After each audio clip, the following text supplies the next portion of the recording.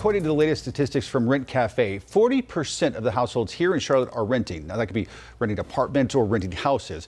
But when you rent, it's always smart to protect your things with renter's insurance. Yeah, but one viewer is wondering if there are any laws in North Carolina that prevent them from being covered with renter's insurance if they move. Wake Up Charlotte's Megan Bragg verifies.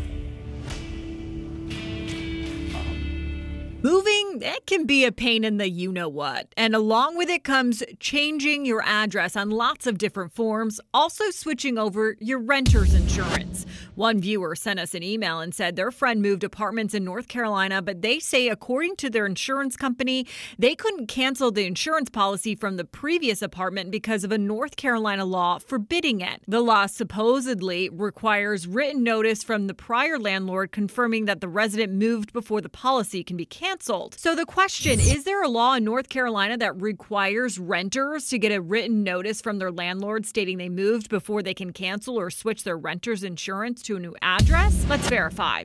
Our sources the North Carolina Department of Insurance, the Insurance Information Institute, and Policy Genius, an insurance policy comparison website. The Insurance Information Institute says renters insurance covers these three financial protections. So is there an NC state law that says you need a note from your landlord in order to switch. A spokesperson from the North Carolina Department of Insurance told us there is no law or regulation that requires a landlord's written notice before a tenant can cancel a renter's insurance policy. Policy Genius says if you move apartments and you already have a renter's insurance policy in place, you don't have to cancel. You can transfer it to your new address. However, you may need to cancel if you move to another state where your insurer doesn't offer coverage. So we can verify that no, there is no North Carolina law that requires renters to get a written notice from their landlord stating they moved before they cancel or transfer the renter's insurance to a new address. With your Verify,